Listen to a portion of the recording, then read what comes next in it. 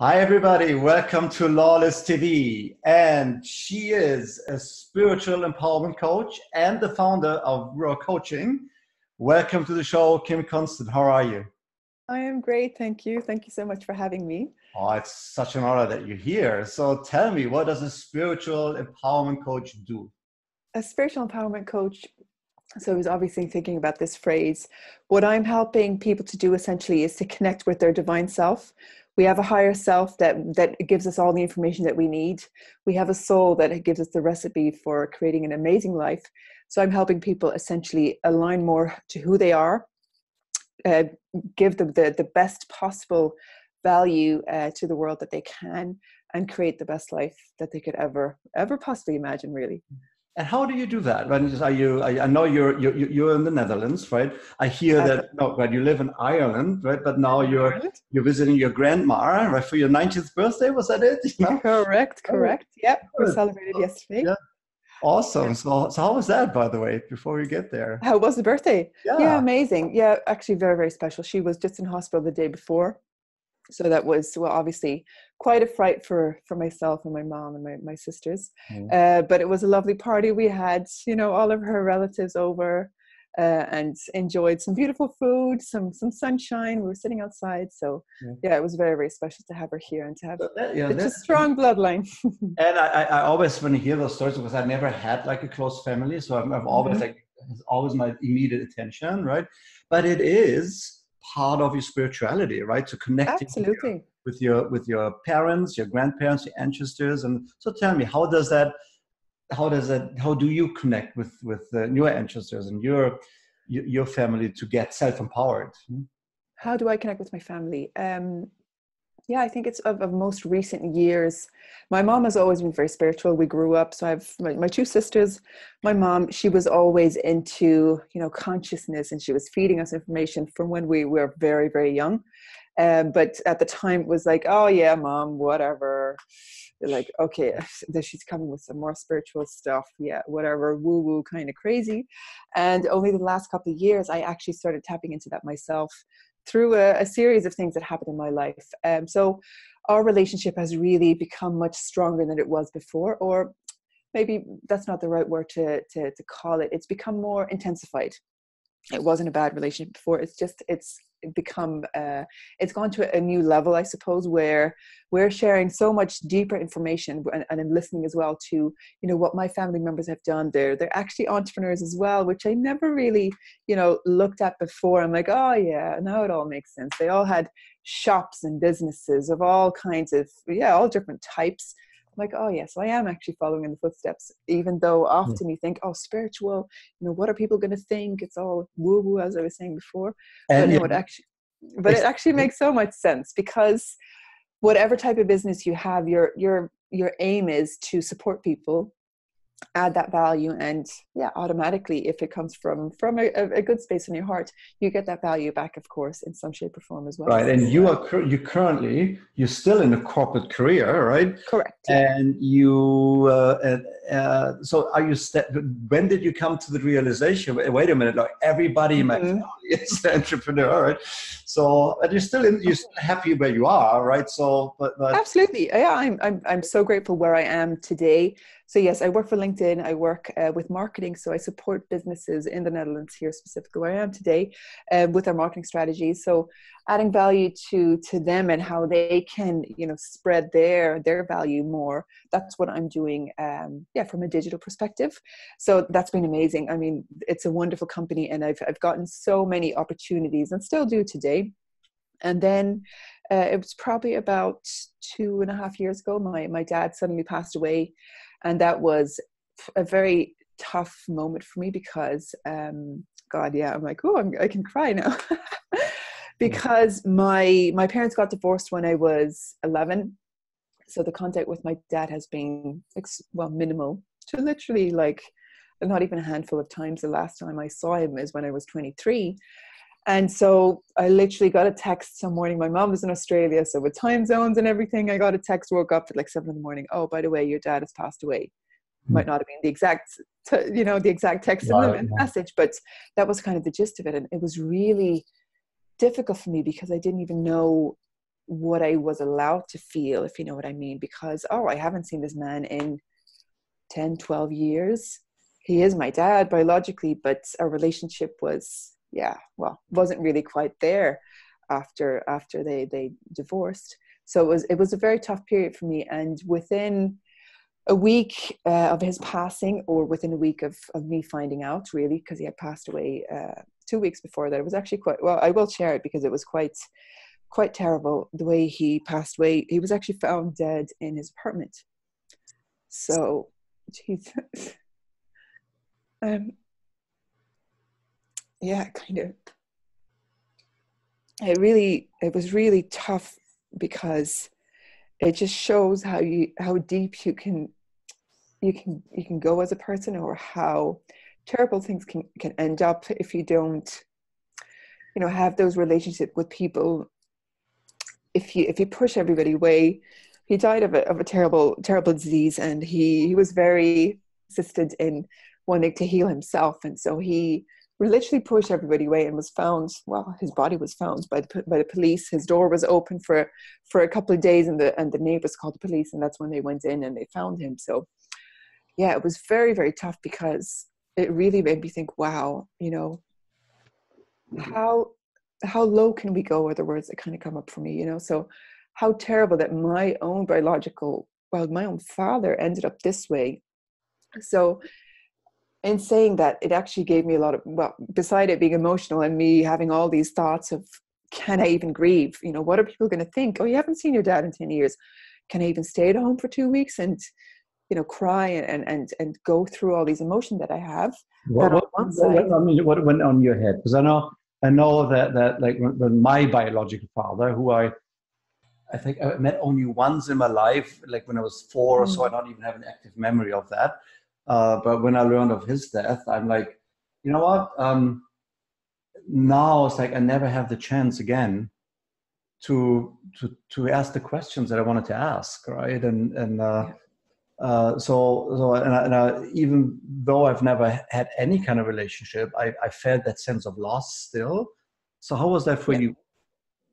Pretty much the same thing came up in my head where I I had been in this phase for about six months or so where I was having this internal discussion of, okay, he's in hospital.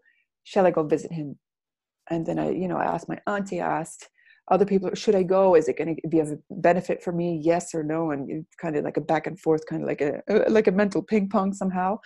And I ended up not going. And when he did pass away, wow, I felt this huge sensation of guilt of like, God damn it, I could have actually gone and I could have actually had this conversation with him, not knowing what the outcome would be or if it would even add anything to him mentally. You know, he had been affected already as well. Um, so the guilt was one part of it, of like, okay, I didn't take this step and now I, I really do regret it. And secondly, kind of like this feeling of, how can I describe it?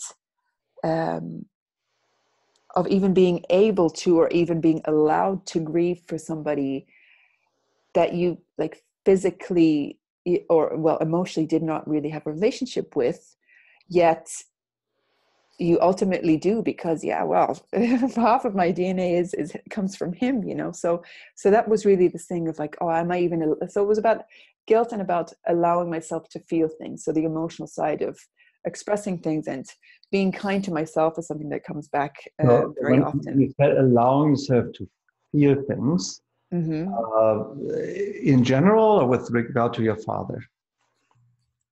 Both, but in that specific moment, it was more around uh, regarding to my father of, mm-hmm. of you know not going to work and, and being at home and just going through that grieving process. And then, you, and, and, and then you mentioned that that was like a pivotal moment for you. Yeah, absolutely. So within um, I always knew that I wanted to become a coach from probably when I was 18.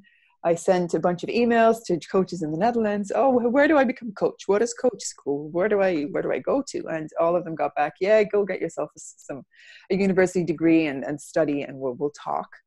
So when he passed away, that was really realization for me of, hey, life can just end like this. So within a week, I was enrolled in a a life and um, executive uh, diploma course and so yes it's it was like this push for me this this well, let's call it an awakening uh, and a what word can i use kind of like yeah, allowing comes up for, as a word again but kind of like a permission as if I, as if i got a permission of like oh yeah because this had happened to him i don't want to i guess in a way feel that guilt as well at some other stage in my life so if I want to do stuff, I need to go do it, and nobody else is going to do it for me. Yeah. So that was yeah, that that really changed my life because the coaching course was something I had always wanted to do. I only did it twelve years later, um, and that kind of got me going on this coaching journey, self development. Yeah, you well, you analyze yourself inside out, upside down, uh, within uh, within one of those courses. Mm. and um, but it's interesting though right? So so that, that we need those crises. You said like you know i knew like i needed to be a coach since age 18 but it's yeah. really in the moment of those crises which when you're there you feel helpless and sad. It's like it yeah. you're shaken. Wake up call right? Yeah. a wake up call. Yeah. yeah exactly. so, so, now you do that so so you you you started to to build your clientele right? Um, and you work mm-hmm. already with a number of people.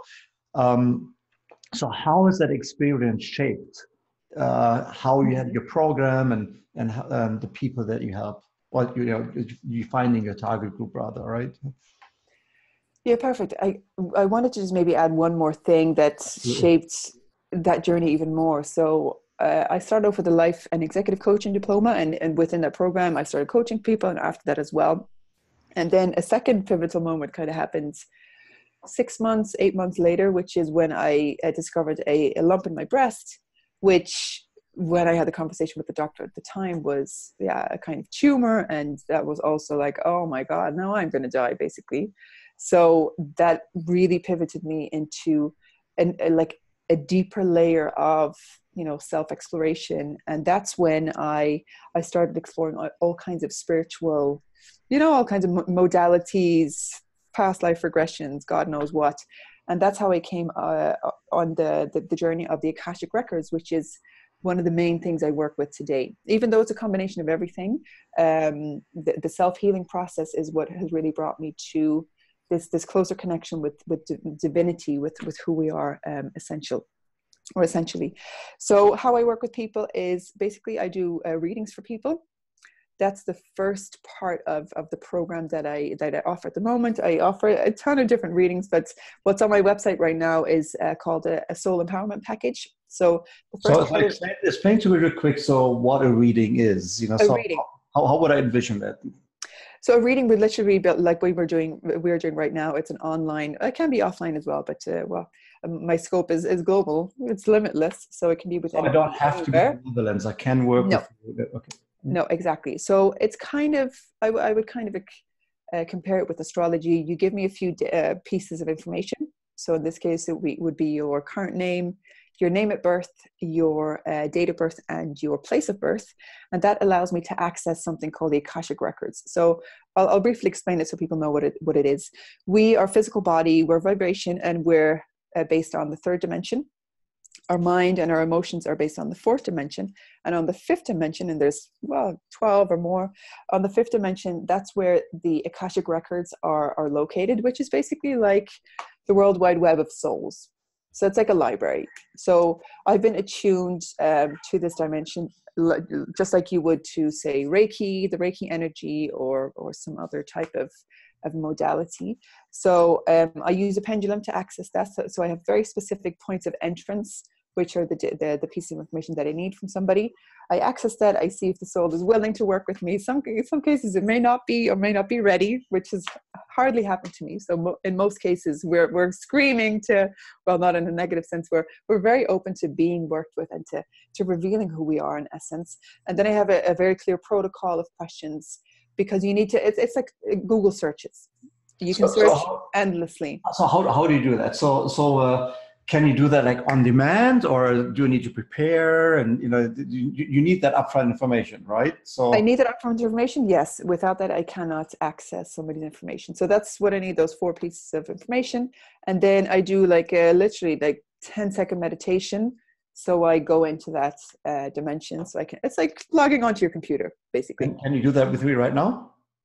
Can I do it with you right now? Yeah. Uh, well, I would, it would probably be better to do that after, like on the sides because I need all of your information. But technically I could, yeah. Technically I could just sit here for a few moments. I don't have my pendulum here with me right now, but I should have, yes, it, it's instant. It's instant. I literally need 10 seconds to get into the mode, get into the zone basically, and then I can ask all the questions that I need to ask. Yeah. And so, yeah, and and so that's the the basic of how I would start doing the reading. So I I don't do it live quite yet. In the future, I probably will, but for the moment, I prepare it up front. So I get some of the information and I prepare all the all the, the, the information that I have available to me that I need or that I can transmit to the person in a dosage that is, you know, um, digestible for the person because I can, well, I can get so much information, but we can only really deal with a certain amount of change, I suppose, to start taking new actions because that's what it's all about. It's with, with like with any type of coaching or well whatever type of, of healer or anything uh, somebody you're working with it's all action based so okay so after this call i just already made a note like after yeah. the call i will absolutely contact you right again with my information and we do this again. Exactly absolutely. I'd be more than happy to work with you of course. I would, I would love love love love love to uh, uh, for sure yeah i'd be more than happy to. So um, it's easy i just sent you an email right? Yeah, you send me an email. Yeah, you send me an email at hello. Anybody else contact you? Yeah, so it's hello at ruwacoaching.com. Yeah. So that's Ruwa, R U W A. And put that either you know, wherever you watch this, right, guys? Either there, there, there, there, so somewhere. You also will put it into um, into uh, uh, the comment box, right? So we have absolutely, yeah. And I'll share this video as well, of course, uh, on my social media. You can find me on Instagram, Ruwa Coaching um, yeah, just type Ruwa coaching and you'll find me somewhere. Awesome. So I, I, I, find you, right? Mm-hmm. Um, and then, so once you've gone through, so, so I give you the information. Once you've done all of that, how do you actually help? What do you do? What do we do with? What do I need to prepare for? Right, mentally. Do, yeah, it's like oh yeah. something to me that like you know I don't know you were like in your past life you were an well. or whatever, right? So is that the kind of information that I get? You know? Yeah, that's absolutely the kind of information that you get. So basically, the first reading has two parts to it. One part is about who you are. So to give a bit of context, we all we are incarnated in a human body right now which means that we have a soul. There are uh, there are souls uh, that are spirit guides, for example, or there there are souls that are have chosen a different vehicle of of being for themselves right now. But everybody that is on Earth, uh, we're incarnated, and I can access. It's kind of like a I call it the divine soul blueprint. So it's like a blueprint, you know, of a house. You have your big your big sheet with all the the blue you know drawings on it, the living room and the whatever the kitchen we have that as well uh, to understand who we are essentially. We were all created back, I don't know how many centuries or thousands of years ago, with a different composition. So there's eight divine gifts, for example, and we all have a percentage of, of every single one of them. Though we have primary and sometimes secondary gifts that we can work with.